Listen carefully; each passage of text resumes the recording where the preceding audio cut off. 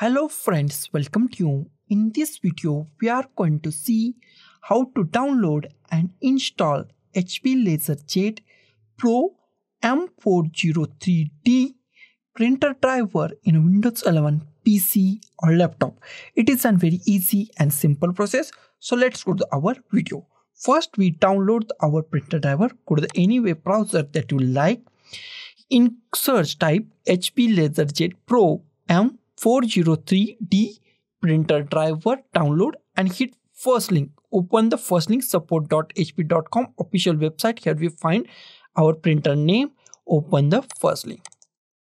And our printer is printer driver is open. But one problem Windows 11 drivers not available with this printer.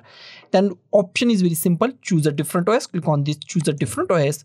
Here we find Windows. Go to the Windows and in version go to the Windows 10 64-bit or Windows 7 64-bit.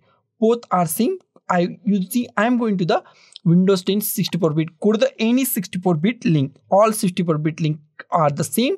Click on update. After update, this box is refreshed and here we find the our printer driver driver product installation software expanded here we find the our printer driver click on this download here is the file size click on this download button.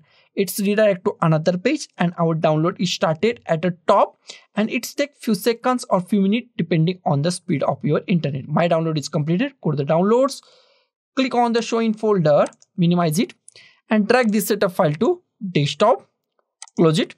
Here we find the our setup file and this setup file is actually a zip file and we are going to unzip this zip file. Right click on it. Click on show more options click on extract files. Click on ok. It's extract files and fol folder on the our pc or laptop. Wait for a few seconds. New folder is created on the desktop. Here we find new folder is created. Double click on it. Here we find the our drivers and we are going to install these drivers. There are two ways to install it. First way is go to this setup file and double click on it and install it. But best way is to install it manually. Go to the start type printers and scanners click on the printers and scanners. In a printers and scanner, here we find add a printer or scanner. Click on add a device, click on add a device. Wait for a few seconds and in few seconds new option is pop up. Wait for a few seconds. New option is the printer that I want isn't listed. Click on add a new device manually. Click on add a new device manually. Close it. Here we find add a printer. In add a printer, we find many option. Go to the last option. Add a local printer or network printer with manual setting go to the last option. Click on the next. Here you find existing port. Click at here. And if you find dot 4 underscore 001 hp printer device hp hp printer or the hp name if you find any name with the hp then select that. If you not find any hp printer port then next option is usb select any usb usb 001 usb 002 usb 003 usb 004 select any usb port. Click on the next click on Have Disk, go to the browse, go to the desktop, go to the our folder, go to the our folder. Here is the our folder, double click on it. And here we find the our printer drivers. These all files are the same. Select any file that you like. I select first file at a run. You can select any file, click on open, click on OK. And here we find our printer. And this is a series printer. Select that printer, click on the next.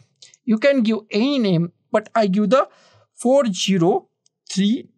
I give HP LaserJet Pro M403D. Give any name and click on the next. It's install our printer. It's take few seconds.